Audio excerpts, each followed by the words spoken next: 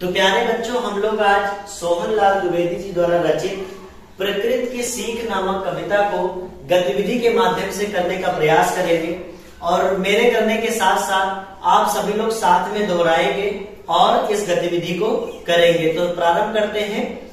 पर्वत कहता शीस उठाकर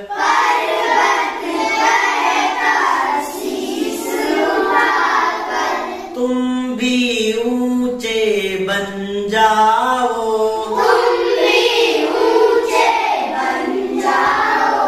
सागर कहता है लहरा कर। सागर कहता है लहरा कर मन में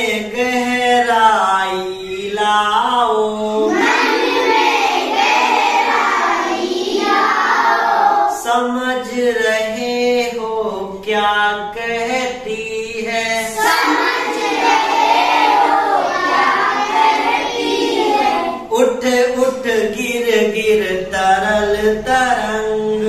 उठ उठ गिरी तरंग तरंग। भर लो भर लो अपने मन में। भर लो भर लो अपने मन में। मीठी मीठी मृदुल उमंग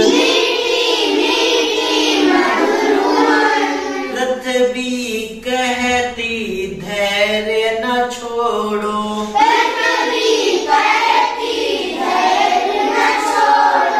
कितना ही हो सिर पर भार कितना ही हो सिर पर भार नभ कहता है।